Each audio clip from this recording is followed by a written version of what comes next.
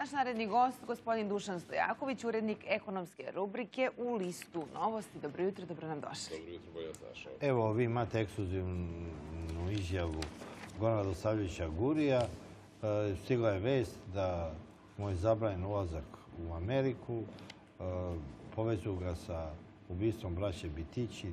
To su e, Amerikanci albanskog porekla koji su se pojavili u vreme NATO bombe. Zarobljeni su od Srba i e, trebalo je da budu oslobođeni. Neko je doneo odluku da budu likvidirani. Nekoliko puta e, Goran Savljić Gur je davo izjave. Tako Jedno je. vreme proveo je u Kini. Onda se video sa FBI-om, sa važnim američkim službama i oni su pretresli sve i iako je to bila zona njegove odgovornosti, on se nije tu nalazio, niko njega nije ni pitao. Iako je e, tadašnji e, zamjenik ministra policije Đorđević u Hagu rekao kako je bilo da je naredba bila od Lajka Stojikovića ministra e, Unutrašnjih poslova. da se oni likvidiraju, da Guri nema nikakve veze s tim. Ponovo je priča okrenuta na Gurija i Guri je dao izjavu da njega to ne interesuje, da mu ne pada na pamet ni da ide u Ameriku i ponovio je da nema nikakve veze sa ubistvom braće Bitići.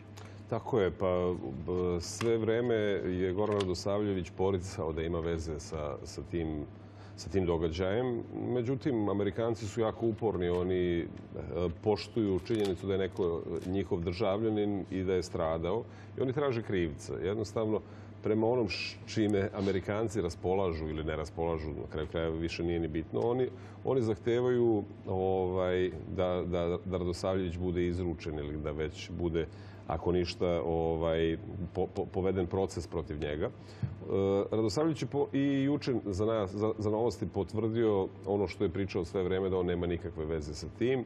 Međutim, i dalje i on i njegova porodica se nalaze na, na, na, na tako, takozvanoj crnoj listi američkoj gde ne mogu da ne mogu da odu u tu zemlju, tako da i on je rekao da je između ostalog čitav taj proces ogroman pritisak na njegovu, na njegovu porodicu. Šta će biti dalje, da li će se pronaći pravi krivci, da li će ta, to što ste vi rekli da je, da, likvidacija urađena e, po nalogu nekih drugih ljudi, vidjet ćemo. Ali, e, evo, to su uslovi za e, poboljšanje odnosa me- između Amerike i, Rus, i Amerike I i Srbije. E, to je ovaj, da se krivci za paljenje američke ambasade, za slučaj braće Bitići, ovo taksativno mora da odgovaraju. E, bivši tužilac za ratne zločine Vukčić rekao da je, je istragu o ubistvu braće Bitići sabotirao i neko od njegovih najbližih saradnika. Tako je. Tako je, pa očigledno tu ta, je, ta, je- to, ta likvidacija je nekako pod velom tajne, nekako je sva u magli i, i očigledno da postoje različiti interesi.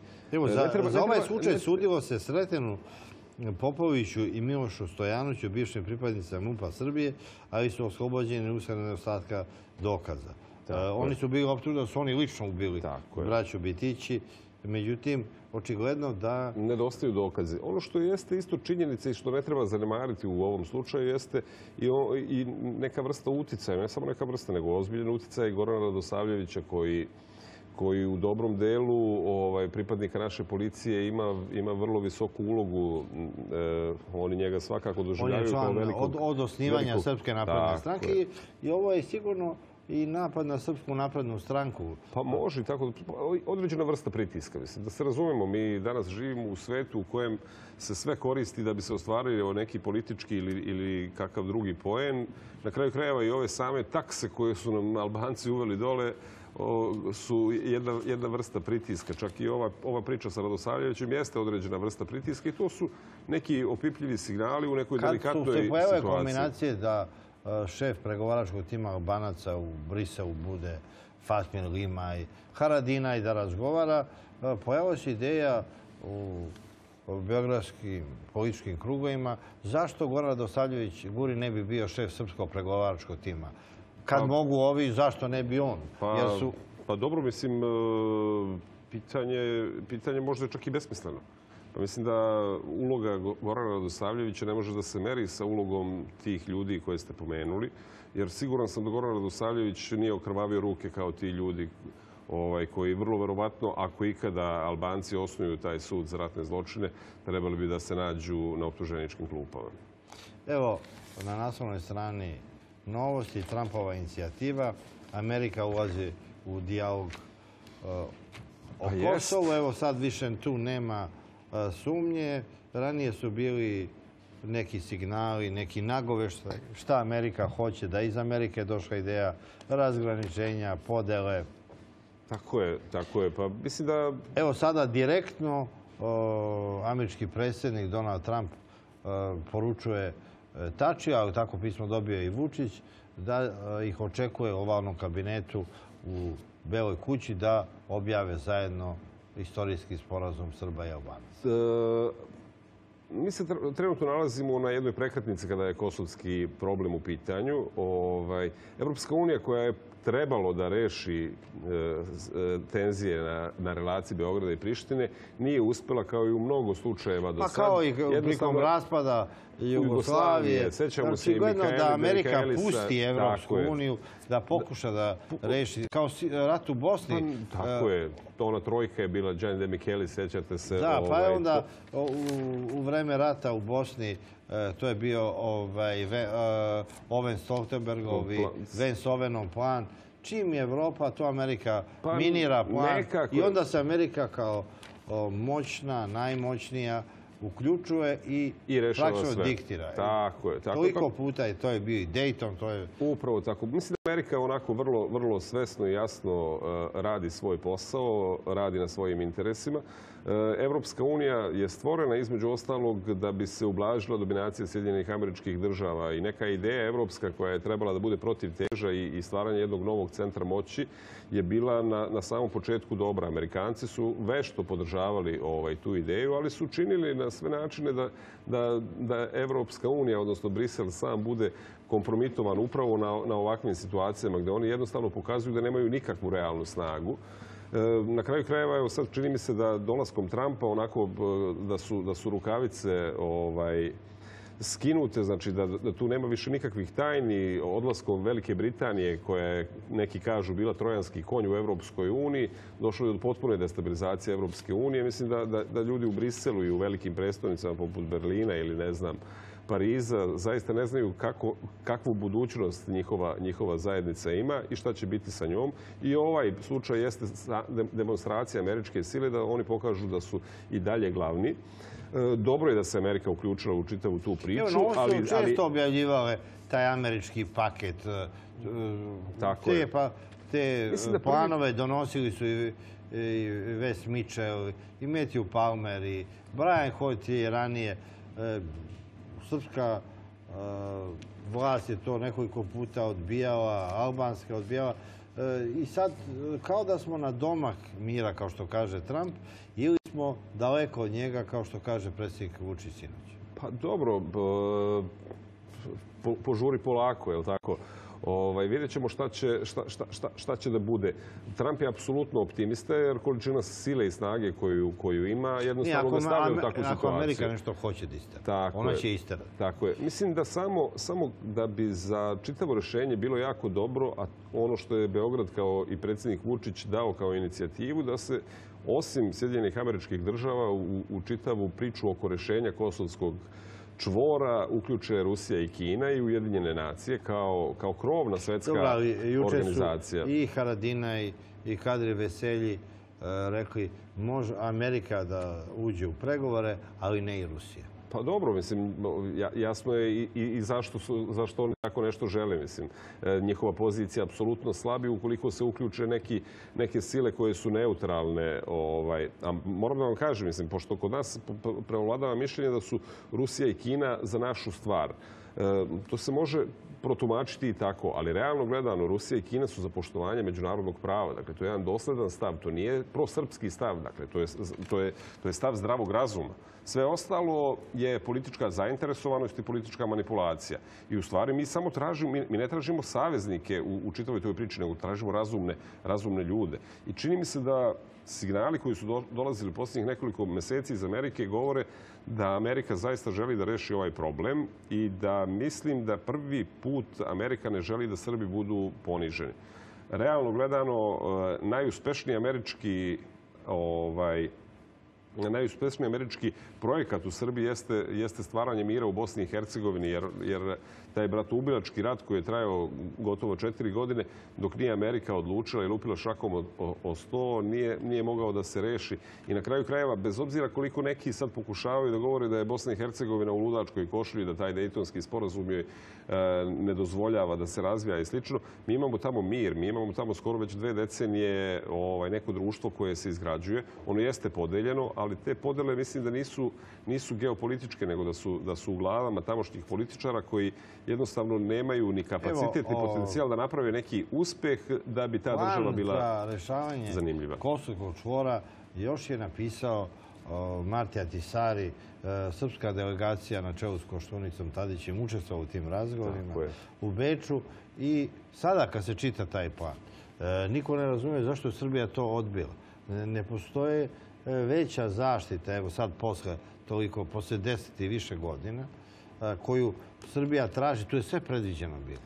Ali, u onom Ali problem je- času... problem je a, Marti. Atisari je bio čovjek, simbol čovjeka koji je rekao Slobodanu Miloševiću da će napraviti, e, da će Srbiju sravniti sa zemljom, da će biti ravna kao tepsija, a isti taj čovjek je e, dao odlikovanje i priznanje Koštunici posle 5. oktobra kao ličnosti godine. E, I plan Atisarijev je i ušao u Ustav Kosova. To su te tačke na osnovu kojih je napisan e, Ustav Kosova. E, recimo nama često sad kad pregovaramo izvade neku tačku iz Rambujeja, ne, e, Atisarijev plan, to jeste to Srbija sve odbila, ali, ali to je međunarodna zajednica usvojila. I nama to izgleda sada prihvatljivo po, sa ovom pameću.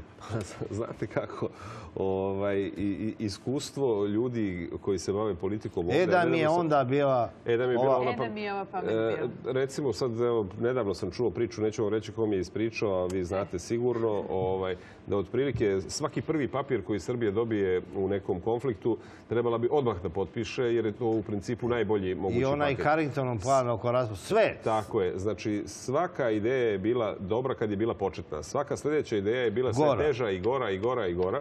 I otprilike, možda, mo- možda baš u, u ovom neobaveznom razgovoru, kad sam saznao za te detalje, možda, možda je Vučiću savjet da kad, ako sedne sa Trumpom i, Odmah da prvi papir odmah potpiše, izađe na konferenciju Trumpu i kaže, evo, rešeno. Evo, neka odbija, neka odbija, sljedeći će neka, biti gori, neka odbija. Tači Haradina. Tako je. Boris Tadić mi je ispričao uh, kad ga je jedanput uh, posle poraza na izborima sreo Bill Clinton, on mu je rekao nevolja sa bivšim predsjednicima je što onda oni sve znaju, ali više ne mogu ništa. Kad su sve mogli, nisu ništa znali. Eto. Pa to je to. to, je to. Do- dosta, je, do- dosta je neugodno, realno gledano, iz pozicije kad više nisi taj koji odlučuje, lako je bilo šta zna. pričati, ali ka- u trenutku kad treba da se upišeš u istoriju sa nekom odlukom, to je onako teška, teška, teška Ali stvar. evo, prema pisanju slovenačkih medija, najmoćnije hrvatske firme zainteresovane za delove Agrokora, Atlantik grupa, Kraš, Podravka, porodica Lukšić, e, Oni žele da se okupe, oni, su, oni pre- prema pisanju slovenačkih hoće? medija, E, oni hoće- Ledu, Zvijezdu, Jamnicu, Tako je. E, Grupa uspešnih hrvatskih firmi i pojedinaca e, je, ima ideju da najzdravije delove Agrokora, konkretno u Hrvatskoj, pomenuli ste Ledo, Zvijezdu, Jamnicu, o, da, da, da, da pre- preuzmu što bi moglo da stvori određene, određene komplikacije, jer bi se iz tog koncerna izvukli oni najzdraviji i najkvalitetniji delovi, a ova mreža trgovinska bi ostala, ostala gola kao ljuštura i bila, bila prezadužena. To tu postoji... Tu postoji Evo Da. da. pročitamo samo čisto da bi naši sugrađani koji možda još nisu stigli da kupe, da pročitamo da je Ljajić rekao sumnjam kod nas ništa novo, čisto sumnjam da će hrvatski konzorcijum da preuzme neke firme koje su u sklopu Agrokora. Ako bi došla neka dobra ponuda, sigurno je da bi oni to prodali, ali nisam siguran da će se za sada to dogoditi, kazao je za novosti ministar trgovine Rasim Ljajić. Tako je. Da, da, bi, da bi vaši gledalci i naši čitaoci ovaj, znali o čemu se radi.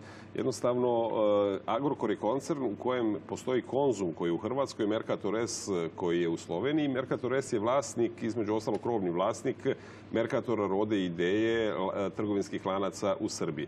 Osim toga, osim trgovinskih lanaca, tu postoje i privredni, jel tako, subjekti. Jer recimo, kod nas su najbolje firme. Frikom, Frikom, Dijamant, Dijamant. e, i šta ja znam, e, čini se Heba, e, tako da, da, da postoje, po- postoje firme koje su, jako, koje su zdrave. Naj, najnarušeniji deo u stvari jeste taj, taj, maloprodajni lanac, mada i, i firme koje su, koje su solventne i koje su izuzetno kvalitetne ovaj, su prilično zadužene kod, kod naših banaka i uopšte, znači ove u prvo, Hrvatskoj. Sberbanka kao, kao najveći poverilac za je preuzeo. Jeste, Sberbanka već nekoliko, već možda dve godine upravlja, upravlja sa, sa, sa, sa konzorcijem. E, Sberbanka i VTB banka imaju parket od 46-47 od 100 akcija i oni upravljaju. Međutim, e, ovaj potpredsjednik e, Sberbanke koji je vodio operaciju u Agrokoru se povlači. Reč je o, o Maksimu Poletajevu i sad su naravno se pojavile spekulacije da bi, da bi moglo da dođe do nekog rešenja da se, jer realno gledano, e, ruske banke nemaju nameru da, da ređaju police i prodaju, ne znam, jogurt, mleko, pecivo i slično. Oni su, pozajmili pare, firma je propala i oni žele da izvuku se sa što manjom štetom.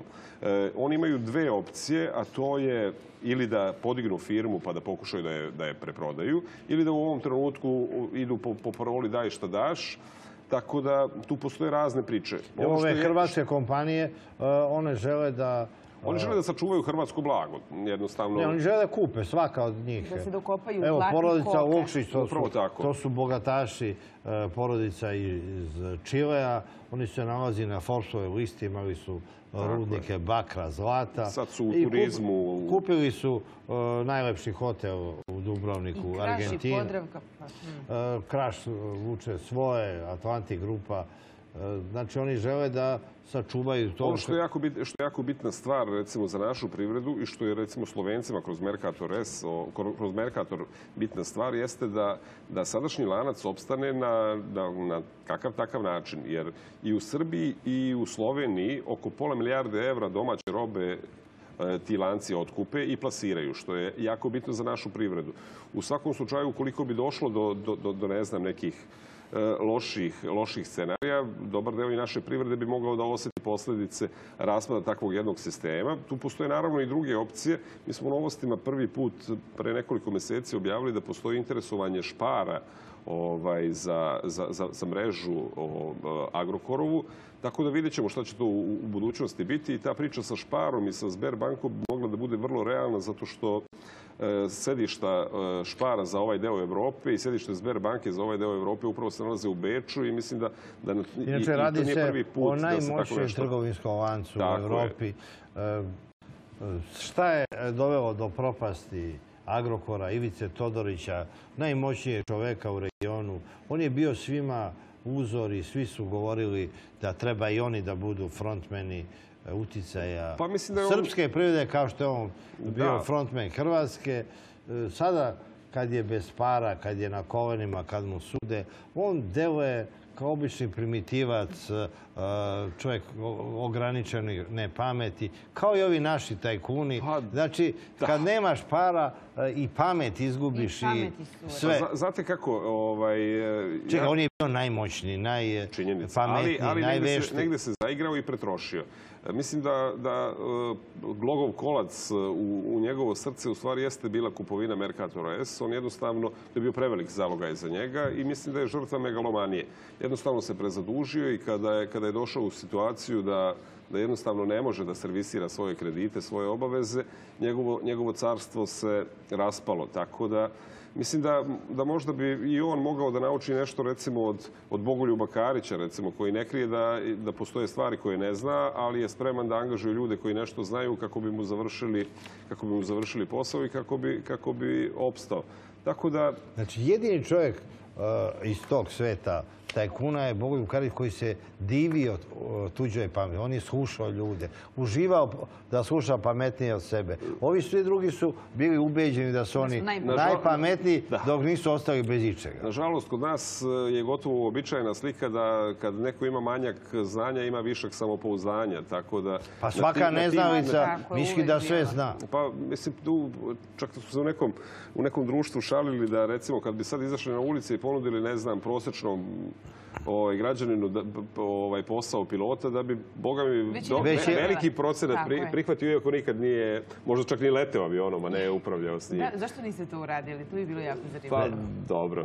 Evo, vi imate elektronski medij, Ne, možemo, da, da možemo mi. Evo sad, evo naši reporteri e, su na ulicama da pitaju da bi umeli da voze avion. Avion, da, eto to ćemo, sa čim se budu uključili prvi put, to ćemo, mislim da je Marko Dolaš Ne, ovog ne, jutra Marko sa da nama, pita ali da ide cijelo da pita. jutro na pijaci, prodavce, kupce. Da li bi- ako bi odmah dobili posao, da li bi umeli pristali da- da voze avion i da li bi umeli da vode srpsku vladu i najmoćnije kompanije, svi bi rekli da. Samo moram da vam kažem, znači, ovaj, u regionalnim odnosima ovaj, Todorić, je, Todorić je bio igrač broj jedan, jedan od najbogatijih ljudi, ali je zanimljiva stvar, sad kad je on došao na sud, Hrvatski sud je od njega tražio e, milion evra ovaj, kauciju da bi se branio sa slobode. On nije mogao da. Zanimljivo da njegov kolega Mišković, je, ovaj, kad je ušao u slične probleme, morao da položi kauciju od 12 miliona. Tako da, očigledno da je Maxi bio ozbiljna firma, a ovaj Agrokor da je to u stvari neki low coster. Ne, čitao sam ispovest e, e, Ivice Todorića i on je toliko bio siguran u sebe, bio je najmoćniji čovjek. On je u trenutku pada imao 10.000 evra u kešu, ništa više. A Sve dobro, bi- Ni manje. Dobro, to je, njegovo, to je njegovo- nje- nje- njegova verzija. I sad, prosto, kad je trebalo da skupi tih milion da izađe iz zatvora, bila je velika panika, e, svi su ga zaboravili i jedva su skupili te pare. Da, no, romantična priča. A dobro, ali te, i tajkuni su ljudi. I, jest, jest.